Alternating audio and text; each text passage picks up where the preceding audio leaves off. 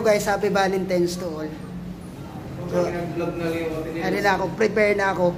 Prepare na ako para Valentine's. Adi matak background. Wow, damotak hearts. Nagka, nagkakalutaw.